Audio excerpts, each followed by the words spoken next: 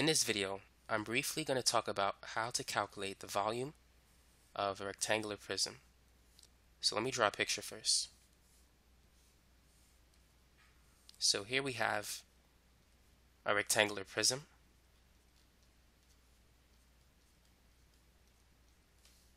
And this is the length of the prism, this is the width, and this is the height. So let's say if this side is 8 inches, this is 5 inches, and this is 4 inches. What is the volume of this rectangular prism?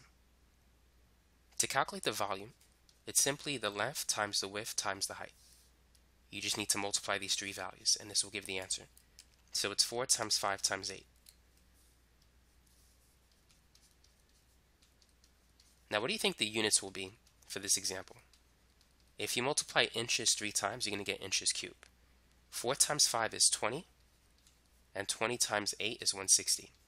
So it's 160 cubic inches. And so that's a simple way in which you can calculate the volume of a rectangular prism.